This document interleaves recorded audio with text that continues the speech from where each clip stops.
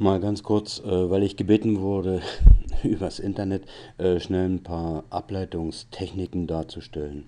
Ähm, Ableiten funktioniert eigentlich äh, ja, über den Differentialquotienten und man kann da komplizierte Formeln schreiben, aber ich mache es mal einfacher. Ähm, wir nehmen mal die pure Technik und die Regeln dazu. Ähm, nehmen wir mal an, f von x sei x fangen wir ganz einfach an.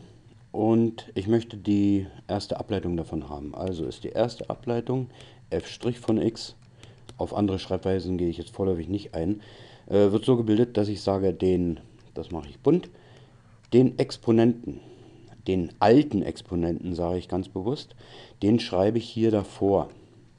Und, Moment, ich muss wieder die Farbe wechseln, jetzt stünde ja hier oben äh, der alte Exponent und der wird um 1 vermindert also minus 1. Das sieht dann so aus, das ergibt 2x hoch 1. Das kann ich mir sparen. Ne? Ich habe die 2 um 1 vermindert, also äh, stünde hier theoretisch noch die alte 1. Die kann ich mir aber sparen, das ist nicht das Problem.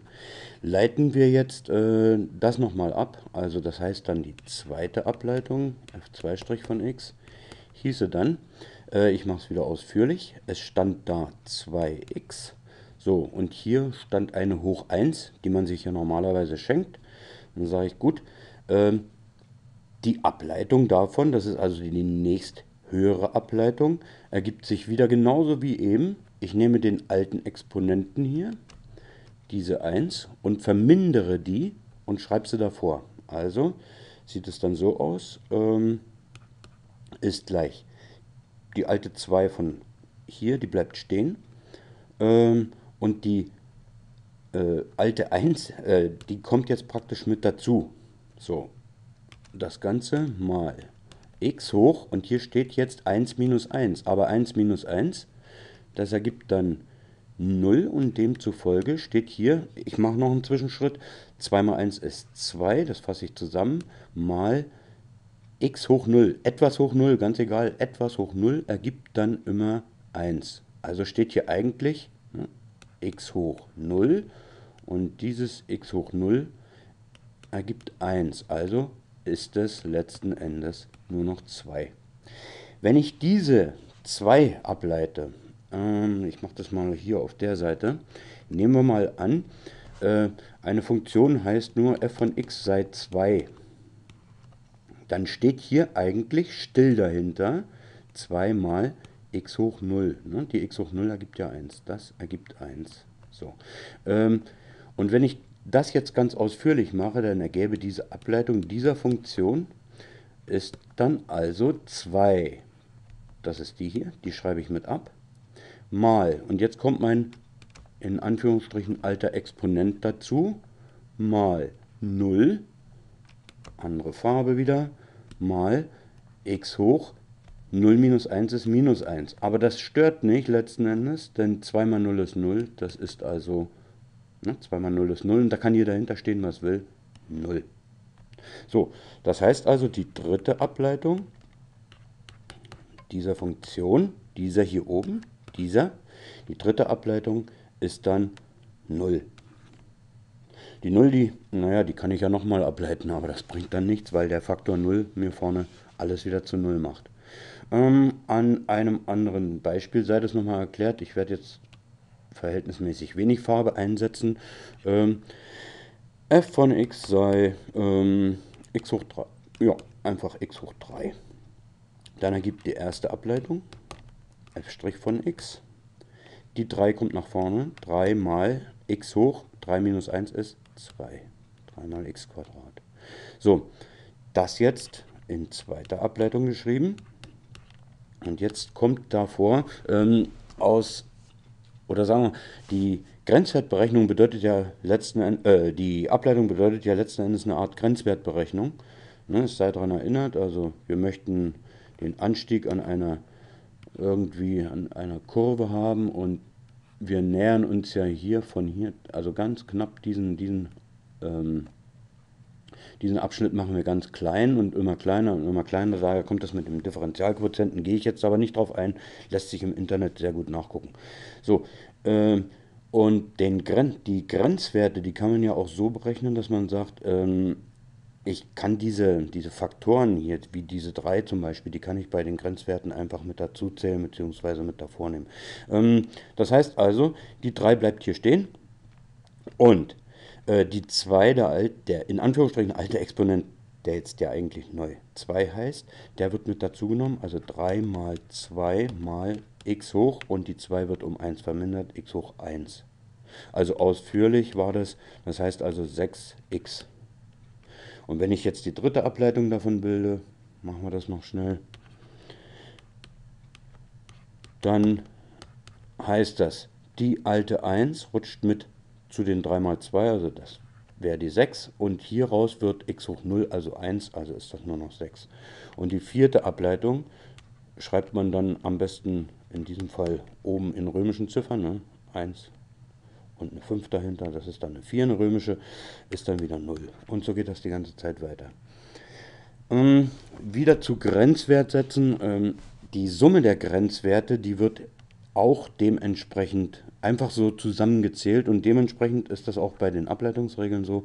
Das heißt also, Beispiel f von x sei ähm, x, Quadrat, äh, x Quadrat plus äh, 3x dann kann ich hier diese Dinge einzeln ableiten. Also x kann ich einzeln ableiten und 3x kann ich einzeln ableiten und kann es als Summe dahinter schreiben. Also f' von x wäre demzufolge 2x plus 3. Man darf sie nicht zusammenfassen, x und 3x darf ich auch nicht zusammenfassen, weil die Exponenten nicht stimmen. Gleiche Exponenten, das haut so nicht hin. Jetzt leite ich das nochmal ab. f2' von x wäre demzufolge, hier ergibt sich bloß noch eine 2 und da hinten raus wird 0. Und die dritte Ableitung, die wäre dementsprechend, na, so sieht es besser aus, 0 und so weiter und so fort. So, ähm, was wichtig ist bei der ganzen Sache, ähm, man kann manchmal scheinbar gar nicht richtig ableiten, wenn folgender Ausdruck dasteht. Ähm, nehmen wir mal an, die Funktion, die gegeben war, hieß ähm, f von x sei 1 durch x. Was machen wir dann? Dann sollten wir diese Funktion umschreiben in f von x ist gleich x hoch minus 1. Und die kann man dann wieder ableiten. Und wenn ich diese jetzt wieder ableite, dann heißt das, meine minus 1 rutscht nach vorne. So, die habe ich da. Minus, deswegen dieses Minus. Und x hoch minus 1 wird da, da wird der Exponent um äh, 1 vermindert, also x hoch minus 2 minus x hoch minus 2. Wenn ich das dann jetzt, pardon, wenn ich das dann jetzt nochmals ableite, ergibt sich ähm, jetzt minus 2 mal minus 1 ist plus 2. Ich schreibe es mal extra plus 2 hin, damit jeder das Plus sieht.